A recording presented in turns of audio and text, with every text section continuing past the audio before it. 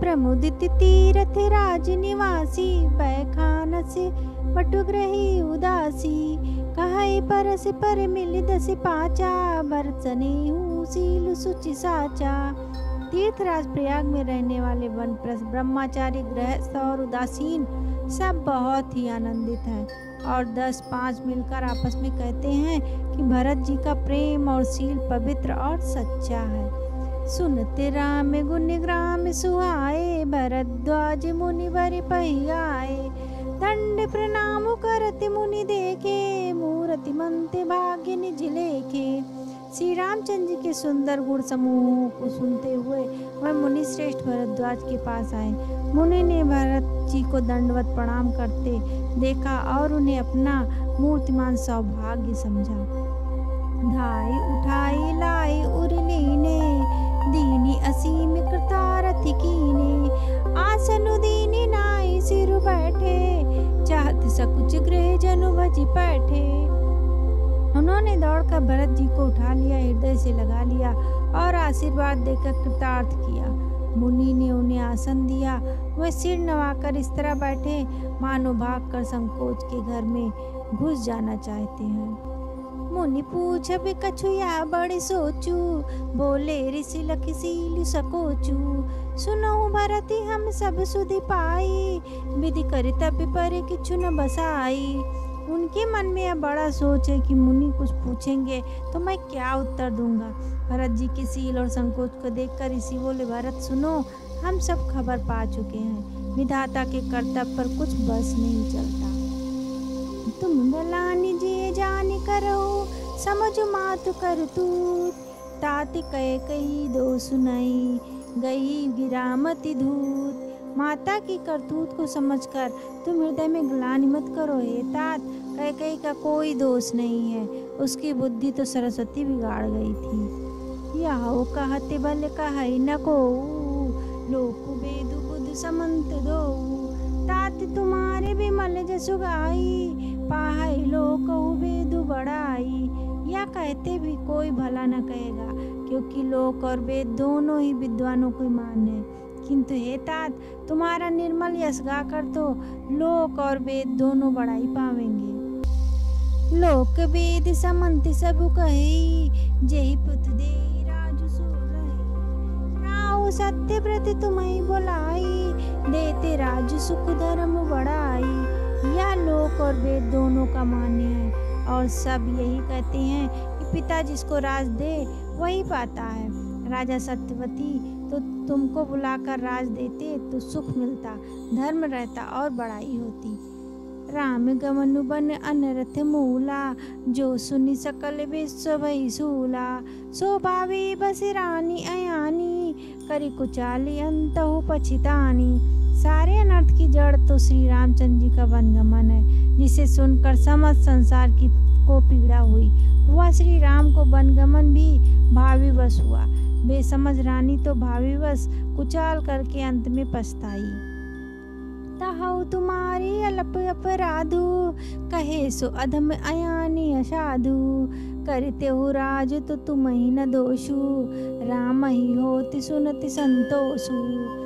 तो उसमें भी तुम्हारा कोई तनिक सा भी अपराध कहे तो वह अधम अज्ञानी और असाधु है। यदि तुम राज करते हो तो भी तुम्हें दोष न होता। सुनकर श्री रामचंद्र जी को भी संतोष ही होता। अब अति कीन्यु भरत भल, तुम्हें उचित मत एहू। सकल सुमंगल मूल जग, रघुवर चरण सने हे भरत, अब तो तुमने बहुत ही अच्छा किया। यही मत तुम्हारे लिए उचित था। श्री रामचंद्र जी के चरणों में प्रेम होना ही संसार में समस्त सुंदर मंगलों का मूल है। सो तुम्हारे धनु जीवन प्राणा, भूरी भाग को तुम्हें समाना। या तुम्हारी आचर ताता, दशरथ सुवन राम प्रिय भ्राता। सो वा श्री रामचंद्र जी के चरणों का प्रेम तो तुम्हारा धन, जीवन और प्राण है। तुम्हारे समान बड़भागी कौन है? हे तात, तुम्हारे लिए यह आश्चर्य की बात है, नहीं है, क्योंकि तुम दशरथ के पुत्र और श्री रामचंद्र जी के प्यारे भाई हो। सुनो भरत रघुवर मन माही प्रेम पात्र तुम समको नाही। लखन राम सीता ही अति प्रीति, निस सब तुम्हें सराहत बीती। हे भरत, सुनो श्री रामचंद्र जी के मन में तुम्हारे समान प्रेम पात्र दूसरा कोई नहीं है। लक्ष्मण जी, राम जी और सीता जी तीनों की सारी रात उस दिन अत्यंत प्रेम के साथ तुम्हारी सराहना करते ही बीती। जाना मरमुन हाथ प्रयागा, मगन होई तुमरे अनुरागा। तुम पर अस सनी रघुबर के, सुख जीवन जग जस जड़ नर के। प्रयागराज में जब स्नान कर रहे थे, उस समय मैंने उनका यह मर्म जाना। वह तुम्हारे प्रेम में मग्न हो रहे थे। तुम पर भी श्री रामचंद्र जी का ऐसा ही स्नेह है, जैसा मूर्ख मनुष्य को संसार में सुखमय जीवन पर होता है। या न अधिक रघुवीर बड़ाई प्रणत कुटुंब पाल रघुराई।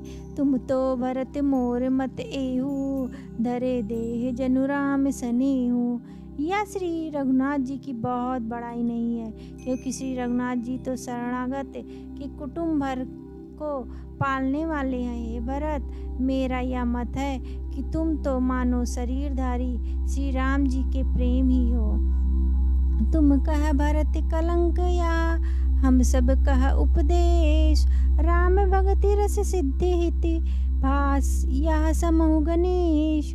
हे भरत, तुम्हारे लिए यह कलंक है, पर हम सबके लिए तो उपदेश है।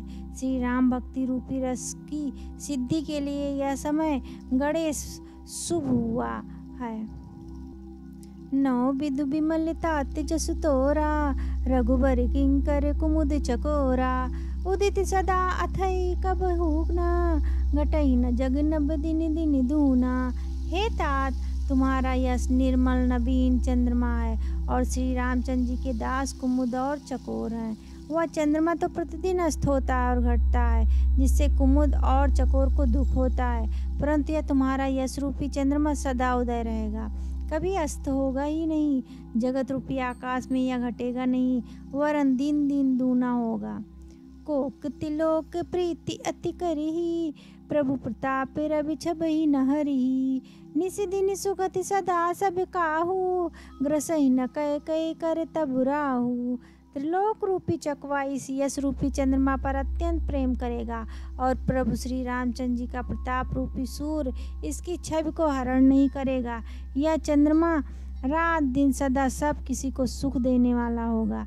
कह कही की कर्म रूपी राह इसे ग्रास नहीं करेगा। पूर निराम सुपेम पीयूषा, गुरु मानि दोष नहीं दूषा।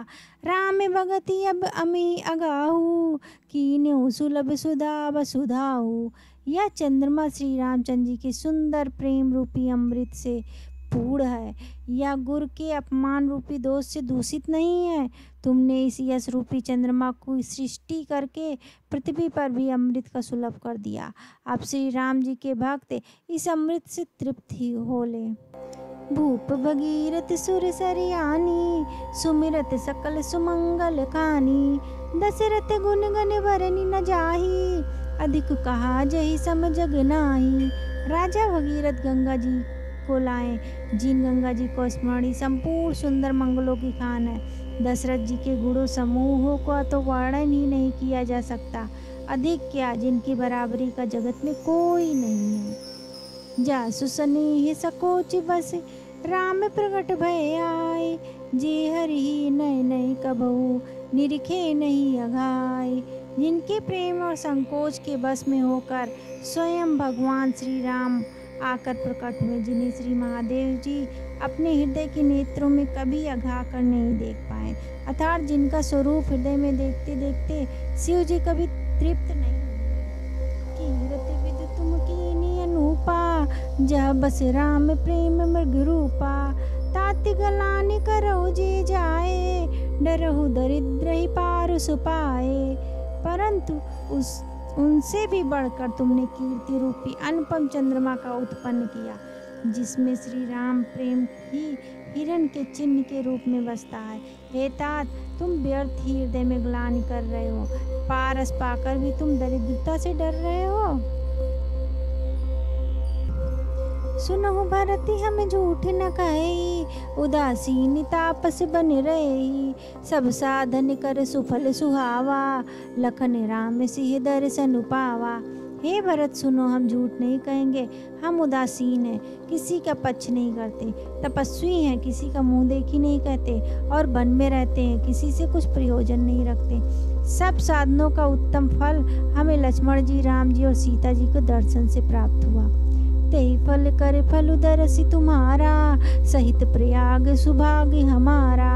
भरत धन्य तुम जसु जग जयु कही ऐसे प्रेम मगन मुनि भयु सीता लक्ष्मण सहित श्री राम दर्शन रूप, उस महान फल का परम फल तुम्हारा ही दर्शन है। प्रिया है, अग्राज समेत हमारा बड़ा भाग्य है। हे भरत, तुम धन्य हो तुमने अपने यश से जगत को जीत लिया है, ऐसा कहकर मुनि प्रेम में मग्न हो गए। सुनी मुनि बचन सभा सदे हरि से, साधु सराही सुमन सुर भर से। धन्य धन्य धुनि गगन प्रयागा, सुनी सुनी भरत मगनी अनुरागा। भरद्वाज मुन के वचन सुनकर सभासद हर्षित हो गए। साधु साधु कहकर सराहना करते हुए देवताओं ने फूल बरसाए। आकाश में और प्रयागराज में धन्य धन्य की ध्वनि सुन सुनकर भरत जी प्रेम में मग्न हो रहे हैं। पुलक गाते ही राम से सजल सरोरु नयन। कर प्रणाम मुनि मंडल ही, बोले गद गद बैन। भरत जी का शरीर पुलकित हृदय में श्री सीता राम जी हैं और कमल के समान नेत्र जल भरे हुए हैं। वह मुनियों को, मंडली को प्रणाम करके गद्य वचन बोले।